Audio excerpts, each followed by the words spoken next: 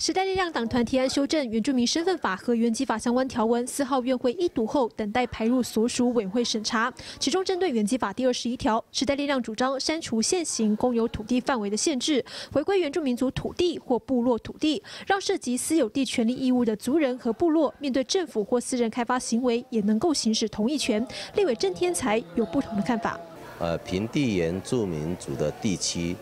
很多的部落，不见得是。传统领域也不见得是这个原住民保留地，因此一定要把部落及其周边一定范围的公有土地也必须纳入。去年三读通过了，就是授权中央原住民族委员会来订定原住民族传统领域土地的划设办法，删除掉这个办法就不能再定了，啊，所以这个影响的层面更大。根据现行原籍法第二十一条条文，原民会也正推动原住民族土地或部落及其周边一定范围内的公有土地划设办法，并且即将进行第三次跨部会协商。学者提到，光是要取回公有土地上的原住民族固有权就相当困难，更何况私有地处理程序和方式更加复杂难行。当我们知道我们家的范围之后，也不必然代表这个家的范围就拥有它的权利啊。好，所以接下来这个权利。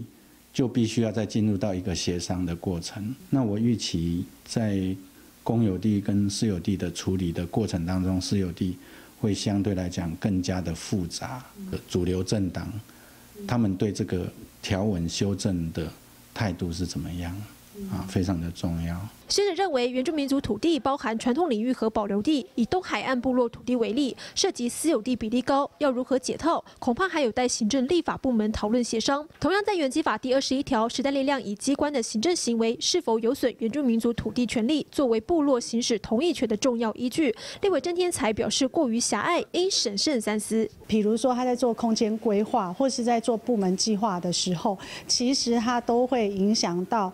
呃。呃，土地的使用、土地的收益，跟跟有关于就是说，在这个土地上自然资源的使用，行政行政机关如果做出来的行政行为，它会造成部落的财产之损失，或是族人之损失，它其实必须给予补偿。很多的这个限制使用都是透过法律法规或是法令啊来限制。而不是一般的行政行为，这个部分要再三思。原计法第二十一条要如何修，才能兼顾族群和部落土地使用权利保障及政府和私人开发的公共利益？恐怕委员会的实质协商过程，各项权利主张的角力才是真正的战场。记者亚本比亚立法院采访报道。